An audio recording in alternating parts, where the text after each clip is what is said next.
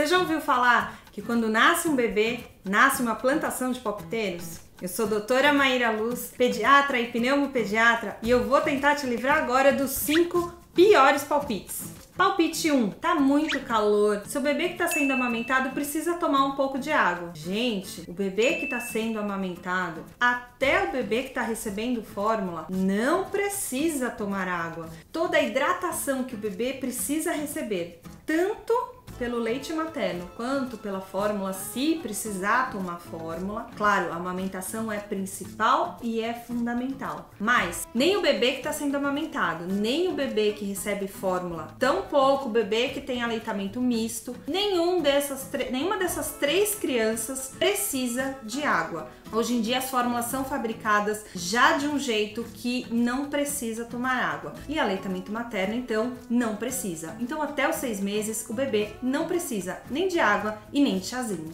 Palpite 2. Não pode dar banho à noite, viu? Hum, gente, vocês sabem por que existe essa história de não poder dar banho à noite? Na verdade, antigamente, não sei se vocês lembram, até em novela dá pra ver, que é, as crianças ou as pessoas que elas iam tomar banho, elas tomavam banho fora da casa. E fora da casa era bem frio, desconfortável, não era agradável para dar banho à noite. E por isso foi passando de geração em geração que banho não podia ser dado à noite. Na verdade, hoje em dia, os banheiros são em casa, no apartamento, são em lugares fechados. Então, o bebê não vai ficar desconfortável, porque o bebê chora e fica desconfortável porque ele está sentindo frio. Quando o bebê sente frio, ele chora e fica desconfortável. Então, ele não vai se sentir desconfortável nem com frio você dando banho dentro da sua casa. Então, pode sim dar banho à noite. Palpite 3. Ah, esse bebê já tá fazendo manha. Ó lá, tá chorando. Não pega no colo, tá fazendo manha. Gente, um bebê recém-nascido não faz manha. Se ele tá chorando, ele tá te contando que ele precisa de alguma coisa. Ou ele precisa que você troque fralda, ou ele precisa ser alimentado, ou ele tá com frio, ou ele tá com calor, ou ele tá com medo porque ele tá sozinho. Sim, ele tem medo porque ele tava super confortável na vida intrauterina e agora ele tá todo solto, ele quer colo, ele quer aconchego, ele quer carinho. Então, não existe manha. Então, o bebê não faz manha. Se ele tá chorando, ele tá te pedindo alguma coisa. Não negue. Palpite Palpite 4. Ai, o bebê não tá engordando porque seu leite é fraco.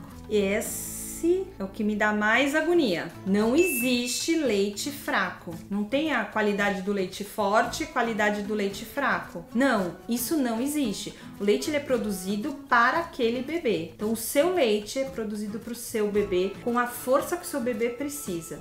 Se por acaso o bebê não estiver ganhando peso, ele precisa passar em consulta com o pediatra para avaliar várias coisas, mas nunca é leite fraco. Pode ser a técnica da amamentação, pode ser o jeito que o bebê tá amamentando, pode ser a, a hora que você tá dando de mamar, pode ser muitas coisas, mas nunca leite fraco. Esse palpite vai entrar por aqui e sair por aqui. Palpite 5. Ai, o bebê tá soluçando, ele tá com frio. E aí, agasalha o bebê, coloca fitinha na cabeça do bebê. Geralmente isso aí vem da avó, da tia-avó, da bisa, enfim. O fato é que o bebê não está soluçando porque ele está com frio. O bebê soluça por espasmos involuntários do diafragma. Como o intestino do bebê que também é imaturo, o diafragma dele também é. E aí, dependendo de quanto que o bebê tomou de líquido ou quanto que a barriguinha dele está distendida, o diafragma ele faz uma resposta e faz esses espasmos. Ele treme. Quando ele treme, ele faz o soluço. Ele faz isso desde a época da barriga da mamãe. Então não é frio, na verdade é uma reação do diafragma que ainda está muito imaturo. E se você já ouviu também muitos palpites, conta aqui para mim nos comentários para a gente conversar.